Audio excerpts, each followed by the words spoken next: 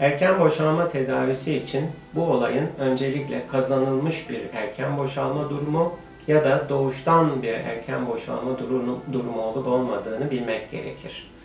Doğuştan olan erken boşalmalarda lokal tedavilerin ya da davranış tedavilerinin yeri pek yoktur.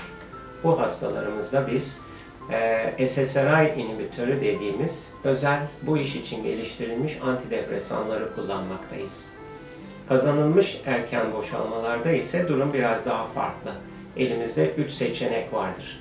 Birincisi tıbbi olarak kullandığımız ilaç tedavisi ki bunların başında dapoksetin ana maddesini içeren ve erken boşalma için geliştirilmiş e, antidepresan grubu. İkincisi lokal hassasiyeti azaltmak için penisteki spreyler ya da kremler kullanılmaktadır.